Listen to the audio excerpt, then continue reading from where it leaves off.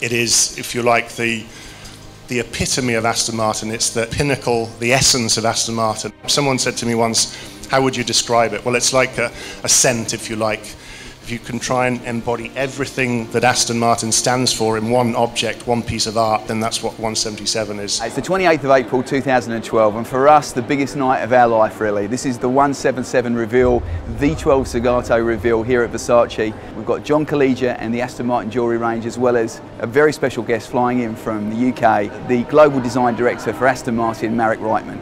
This car was launched as a race car. The first two cars went to the Nürburgring. They competed in, I think, the world's toughest car race, the 24 hours of Nürburgring, and both cars came home and finished. The language of the surface, the fullness, the fullness is there to describe the form and the shape of the car, the power. You think about muscles and the negativity and the positive nature of muscles.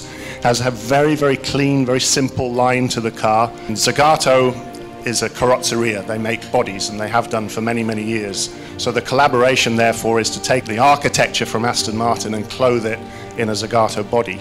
Every single panel on the exterior is either made of carbon fiber or aluminium. The aluminium panels are hand beaten, hand formed, hand shaped. It has some very, very distinctive Zagato cues. The Aston Martin Supercar 177, please put your hands together.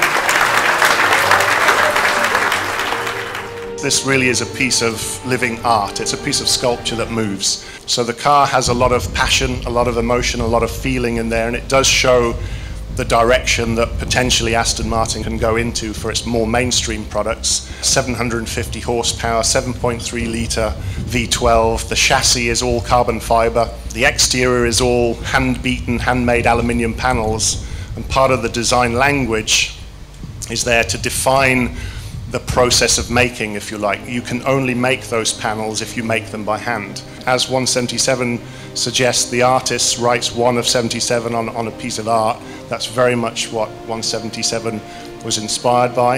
Aston Martins are, are viewed from 360 degrees, and so an Aston Martin should be beautiful from 360 degrees. And I think, again, it's a product that doesn't have a poor view, it doesn't have a bad angle. When I talk about jewellery on the car and I, and I think about the badge and how we've created this amazing jewel in the badge, I have to mention John Calleija and the jewellery that John does, which is incredible.